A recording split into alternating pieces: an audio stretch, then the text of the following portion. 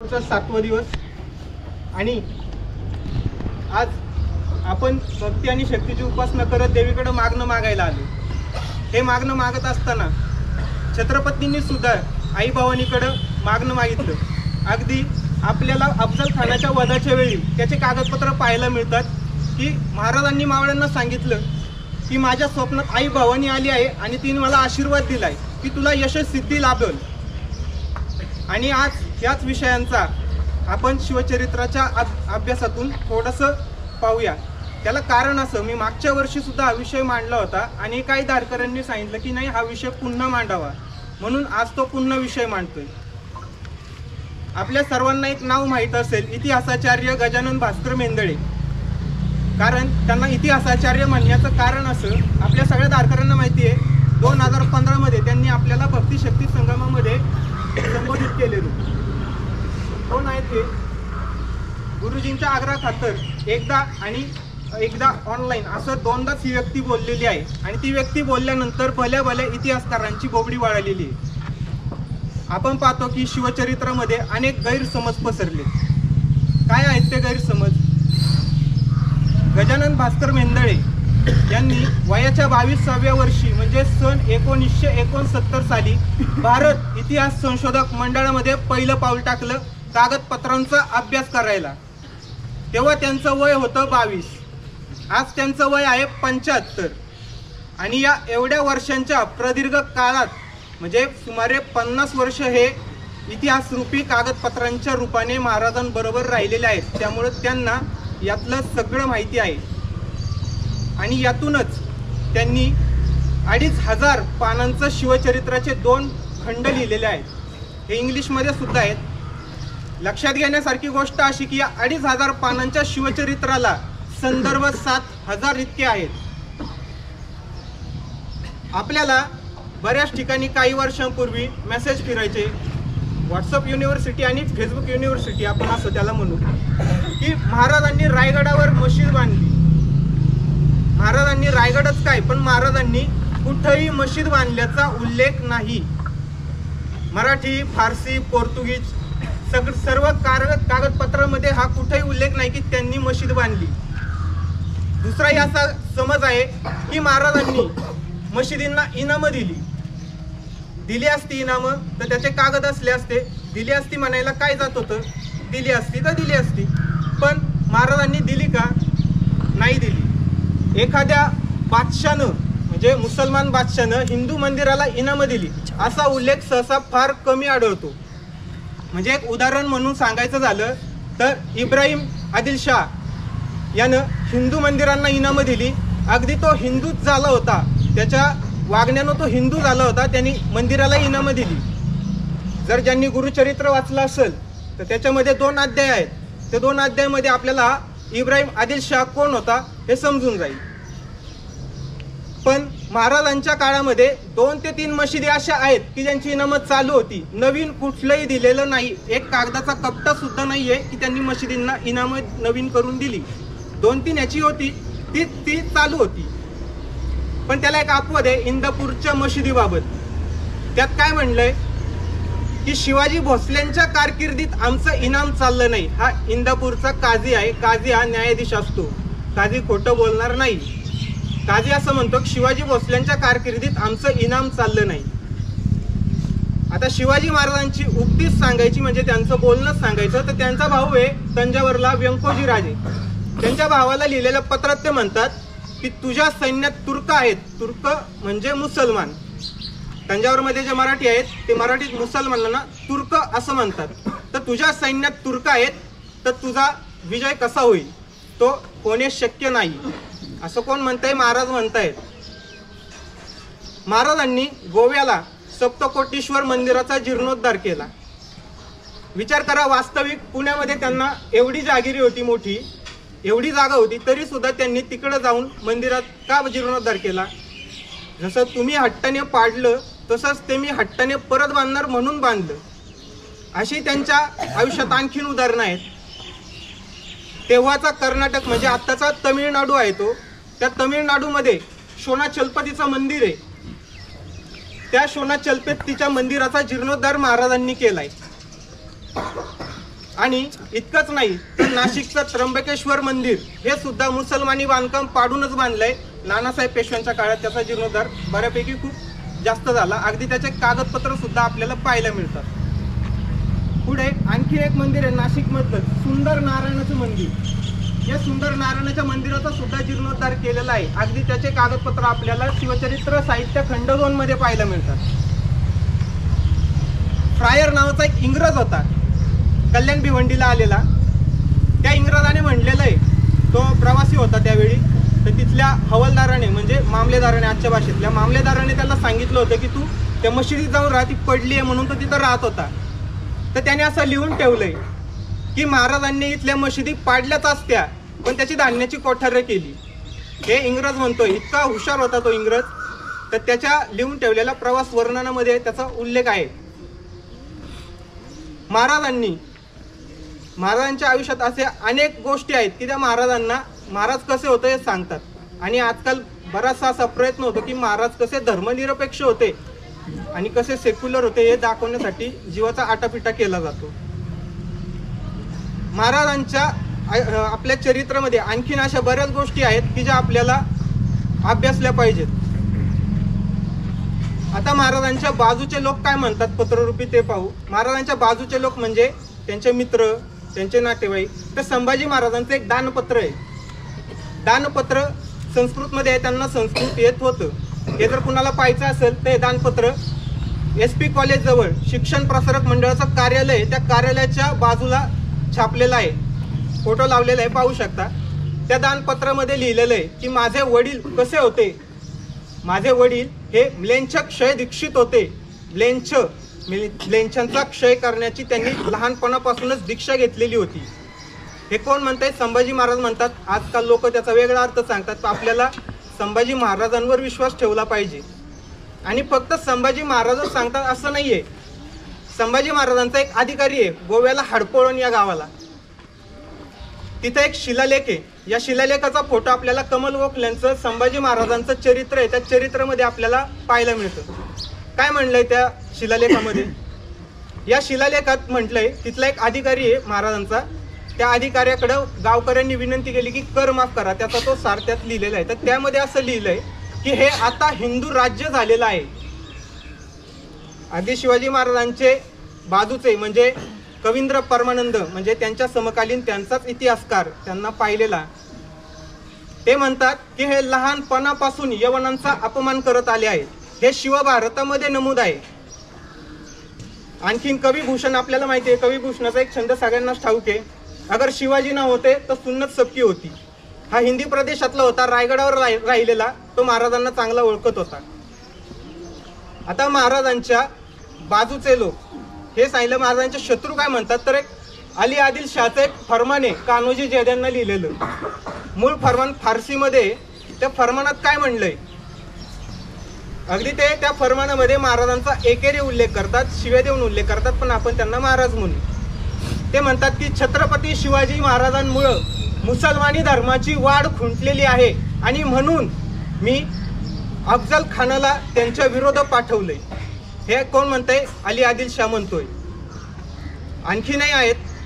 पण आता तटस्थ म्हणजे महाराजांच्या बाजूने जे तटस्थ होते ते काय म्हणतात? तर हेनरी रेविंग्टन सगळ्यांना माहिती आहे. पन्हाळ्यावर त्यांनी तोफा डागल्या होत्या. अगदी अलीकडच्या चित्रपटांमध्ये सुद्धा आपल्याला पाहायला मिळतं. बारकावे काही काही आहेत. त्या हेनरी रेविंग्टननं काय केलं होतं? महाराजांवर तोफा डागल्या होत्या पन्हाळ्यावर. त्याचं एक पत्र आहे. ते पत्र छापलंय इंग्लिश रेकॉर्ड्स ऑन शिवाजी या पुस्तकामध्ये. आणि त्या पत्राची सुरुवात अशी केली आहे महाराजांना तो अनुलक्षून काय म्हणतो? General of the Hindu forces Hindu सेनाधिपती हे तो इंग्रज म्हणतोय. फार हुशार होता. ब्रिटिशांचं राज्य भारतात पसरवण्यासाठी खूप मोठा त्यांनी वाटा उचलला होता. तर महाराजांच्या ह्या उत्तर काळातील परंपरा आणि ह्या समकालीन व्यक्ती हेच सांगतात की मराठ्यांना त्यांचं राज्य हे कळालं होतं. आणखीन अशा गैरसमजमध्ये अगदी अलीकडं काही वर्षांपूर्वी महाराजांच्या सैन्यात सत्तावन्न टक्के मुसलमान होते सांगत सांगत मंत्री पण झाले. पण खरंच महाराजांच्या सैन्यात सत्तावन्न टक्के मुसलमान होते का? बरं होते तर ते किती होते? त्यातले काही मुसलमान सांगतो. महाराजांच्या सैन्यामध्ये सोळाशे सत्तावन्न सालापर्यंत चार ते पाच मुसलमान होते. सोळाशे सत्तावन्न सालापर्यंत का म्हणलं? कारण सोळाशे अठ्ठावन्न साली एक पत्र आहे. आदिल आदिलशाहाचं शहाजी राजांना लिहिलेलं त्या फरमानात असं म्हटलंय की तुमच्या मुलाच्या कृत्याबद्दल तुम्हाला जबाबदार धरलं जाणार नाही त्याचा तो जबाबदार आहे. मग काय? सोळाशे अठ्ठावन्न साली शिवाजी महाराजांनी स्वतःच्या राज्याची अधिकृत घोषणा केली. म्हणजे त्यांनी स्वतःहून आदिलशाहीवर आक्रमण केल्याची पहिली घटना ही सोळाशे अठ्ठावन्न सालची आहे. त्याच्या आधी सोळाशे अठ्ठेचाळीस साली त्यांचा आदिलशाही सैन्याचा आदिलशाही सैन्याशी त्यांचा लढा झालेला होता. पण ते आदिलशाही सैन्याने केलेलं आक्रमण होतं. पुरंदरची लढाई माहिती आहे फत्तेखानाबरोबर झालेली. पण सोळाशे अठ्ठावन्न नंतर मात्र मुसलमान आपल्याला का आढळत नाही? तर दहा मार्च सोळाशे सत्तावन्न कागदात कागदामध्ये आपल्याला काही मुसलमानांचे अधि अधिकारी म्हणून आपल्याला नोंद आढळते त्यातला आहे पहिला सिद्धी अंबर बगदादी. हा पुण्याचा हवालदार होता. म्हणजे अमूल बागदादचा होता. तिकडे मुंडके कापायची शिक्षा देतात. तिकडे फार प्रसिद्ध आहे. तो हा त्या भागाचा होता. तो होता हवालदार म्हणजे मामलेदार. दुसरा आहे जैना खान पीरजादे. हा पुण्याचा सर हवालदार होता म्हणजे कलेक्टर आणि तिसरा आहे बेहलीम खान. हा आहे बारामतीचा हवालदार. ही जी तुम्हाला तीन नावं सांगितली ही आहेत सोळाशे सत्तावन्न मार्च दहापर्यंत याच्यानंतर त्यांचं नख सुद्धा स्वराज्यात आढळणार नाही. पुढे आपल्याला आपल्याला एक नाव आणखीन खूप सांगितलं जातं. नूर खान बेग. अनूर खान बेग कोण होता? हा नूर खान बेग सरनोबत पायदळ प्रमुख होता. हा याचाही उल्लेख आपल्याला सोळाशे सत्तावन्नच्या मार्च दहाच्या कागदात शेवटचा आढळतो. त्याचं काय केलं? हे कागदोपत्री जरी कुठं वाचलं नसेल तरी सुद्धा एका ठिकाणी वाचनात आलं होतं की त्याला राजगडाच्या पायथ्याला त्याचे हातपाय कलम केले कारण तो माने नसा झाला. महाराजांनी त्याचं खरं काय केलं? हे आजवर ठाऊक नाही. पण हा होता पायदळाचा प्रमुख सरनोबत. पण त्यानंतर आपल्याला पुढे प्रमुख हा येसाजी कंक आढळतो. अगदी छत्रपती संभाजी महाराजांच्या उत्तर काळापर्यंत. पुढे आपल्याला एक नाव येतं सिद्धी हिलाल. हा सिद्धी हिलाल कोण होता? तर हा आदिलशाहीकडे पण होता आणि हा आपल्याकडे पण होता. मागाशी सांगितल्याप्रमाणे आपण चित्रपट पाहतो त्यामुळे अलीकडच्या चित्रपटात पण तुम्ही पाहिलं असेल की अरे हाता आपल्याकडे लढलेला दाखवला. त्याचं कारण असं जेव्हा अफजल खानाची स्वारी होणार होती तेव्हा जो बडी बेगमनी दरबार भरवला होता त्या दरबारामध्ये सिद्धीलाल त्या दरबारात हजर होता त्यांच्या बाजूने. आणि पावन खिंड ज्यांनी चित्रपट पाहिला असेल त्यामध्ये पाहिलं असेल तर आपल्याला पन्हाळ्याचा वेढा फोडताना मात्र नेतोजींसोबत हा सिद्धी हिलाल दिसतो. मग सिद्धीलालला सिद्धी हिलालला हिंदू का करून घेतला नाही असा प्रश्न आपल्याला पडतो. तर तेव्हा परिस्थिती अशी होती की जो जन्मानं हिंदू नाहीये त्याला हिंदू करता येत नव्हतं. म्हणजे कुणी एकाएकी मुसलमान ख्रिश्चन आला आणि मला म्हणाला की मला हिंदू करून घ्या तर ते शक्य होत नव्हतं. कारण प्रश्न असा असायचा की त्याला जर हिंदू करून घेतला तर आपल्या जातीतले म्हणायचे की हा अमुक अमुक आमच्या जातीत नको. त्यामुळं होत नव्हतं. एकोणीसाव्या शतकाच्या अखेरपर्यंत ही अशीच परिस्थिती आपल्याला पाहायला मिळते. पण नेतोजी पालकरांच्या बाबतीत विषय वेगळा होता. कारण नेतोजी हे जन्मानं हिंदू होते. त्यांना हिंदू करता येत होतं. म्हणून त्यांना हिंदू केलं होतं. महाराजांच्या आयुष्यात तशाच आणखीन बऱ्याच गोष्टी आहेत. त्यापैकी आता पुढचा एक मुसलमान दोन नौसेनाधिपती आपल्याला आढळतात. दर्या सारंग आणि दौलत खान. दर्या सारंग याला महाराजांनी सोळाशे एकोणऐंशी साली म्हणजे त्यांच्या मृत्यूच्या एक वर्षापूर्वीच अटक केली. त्याला अटक केली म्हणजे त्याचा विषय संपला. आता राहिला आहे दौलत खान. तो हा कशासाठी ठेवला होता आपल्याकडे? तर त्याला एक कारण आहे. आपण गुगलवर पाहू शकता. तर त्या गुगलवर आपण पाहिल्यानंतर आपल्या कळतं भारत स्वतंत्र झाल्यानंतर पुढची दहा वर्ष म्हणजे एकोणीसशे सत्तेचाळीस नंतर पुढची दहा वर्ष आपल्याकडे वायुसेनेचे प्रमुख आणि नौदलाचे प्रमुख हे ब्रिटिशच होते भारतीय नव्हते. त्याचं कारण असं कारण तेवढी मोठी पदं आपल्याला ब्रिटिशांनी दिली नव्हती आणि आपल्याकडे तेवढे प्रगत कोणी नव्हतं. पण त्यानंतर मात्र आपल्याकडं भारतीय आढळतात. हीच परिस्थिती महाराजांच्या नौदलाबाबत होती. म्हणून हा दौलत खान होता तो होता. पण तो महाराजांच्या नियंत्रणात होता. त्यानंतर मात्र उत्तर कोकणात सरदार आंग्रे आणि दक्षिण कोकणात सरदार धुळूपच आपल्याला दिसतात. पुढे एक सगळ्यात महत्त्वाचं नाव मदारी मेहतर. सगळ्यांना माहिती आहे मदारी मेहतर. मदारी मेहतर हा पूर्णतः खोटा आहे. खोटा. कारण मदारी मेहतराचा उल्लेख कुठल्याही समकालीन कागदपत्रामध्ये आढळत नाही. त्याचा पहिला उल्लेख अठराशे सालानंतर आलेला आहे पुस्तकामध्ये. त्यात काय म्हटलंय? की सवाई जयसिंगाची स्वारी महाराजांवर झाली. पण आज सवाई जयसिंग कोण? तर सवाई जयसिंग मिर्झा राजे जयसिंग याचा खापरपंतू. तेव्हा तर महाराज स्वतः हयात नव्हते. मग ह्यानं काय केलं? हे आपण कसं खरं मानायचं? हे त्या काळातले कागदपत्र नाहीत. त्यामुळे ह्याला कुठलाही आधार नाही. अगदी सभासद बखरी समकालीन कागदपत्र यामध्ये आग्रा भेटीचं जेव्हा तुम्ही वाचाल तेव्हा कुठेही मदारीचा उल्लेख नाही. केवळ पाय रगडावयास पोरगा बसवला हाच उल्लेख आपल्याला त्यामध्ये आढळतो. आणि जर मदारी असेल तर मदारीचा पुढचा उल्लेख कुठेही तुम्हाला भेटणार नाही. केवळ आणि केवळ फक्त एक ते दोन गोष्टीमध्येच आपल्याला मदारी हा घुसवलेला पाहायला मिळतो. पुढे आहे काझी हैदर. हा काझी आयदर फारसी क्लार्क होता. म्हणजे त्यांच्याकडे पत्रव्यवहारासाठी कोणी फारसी जाणणारा हवा होता म्हणून हा तिथं होता. पण यानं काय केलं?